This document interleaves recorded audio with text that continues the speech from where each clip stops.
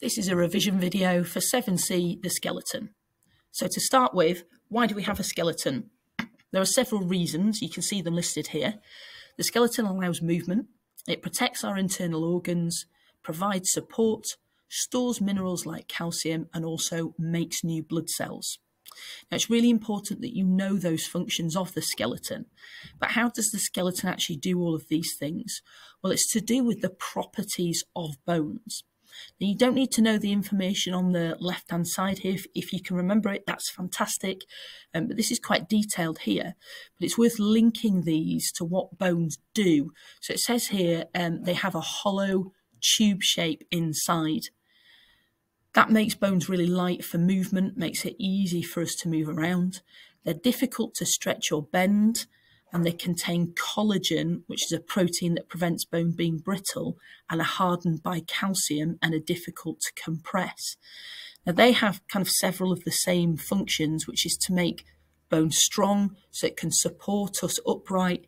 It helps to avoid breakages and it makes it strong to protect our organs as well. Okay. Now, the other thing that bone can do is it has some cells called osteoblasts. Now, that can make new bone when bone is damaged. Some people think that bone is not living, and that's incorrect. Bone is living. It's able to grow and repair itself if you fracture it. And it's these special cells called osteoblasts that do that. Now, lastly, and really importantly, Bone also contains within that hollow space something called bone marrow, and that makes new blood cells. You'll learn more about new blood cells later on in the course, but red blood cells carry oxygen and white blood cells uh, stop infectious diseases, and making new ones of those is really important. So, as we said, some parts of the skeleton protect your internal organs. Some bits are obvious, like the skull um, protecting the brain. The backbone protects some soft tissue called spine, the spinal cord, which is made up of nerves. So that's really important to protect. The rib cage protects the lungs and heart, and the pelvis protects the reproductive organs, the bladder, and the intestines. So those are the parts that are important for protecting internal organs, but there are several parts that are also important for movement. Now, you don't need to know the names of these for this course, it's helpful if you do. But one thing you do need to understand is how these bones work together to ensure that movement can be the case. So, we need to have a little bit of look at the joints between these bones to understand that. Now, there are three types of joint you need to be aware of. Hinge joints, they allow movement forward and backwards. So your knees and elbows are example of, examples of hinge joints. Ball and socket joints, they allow uh, more movement than that. Uh, they allow movement in most directions, and they're the hip and the shoulder.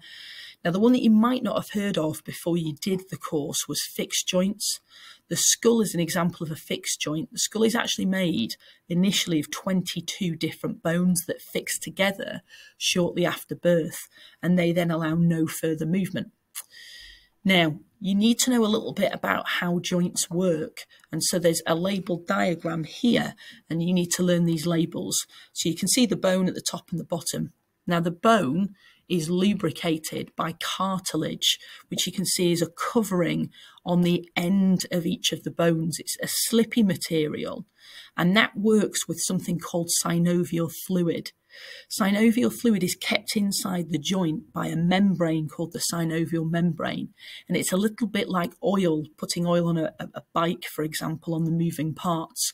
So the slippy cartilage and the synovial fluid together make movement very smooth and make sure there's very limited friction.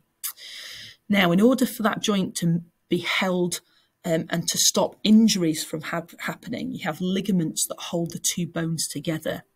They provide support and really give structure to that joint.